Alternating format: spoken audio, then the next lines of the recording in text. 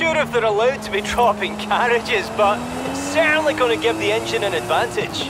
Oh yeah? We'll see about that.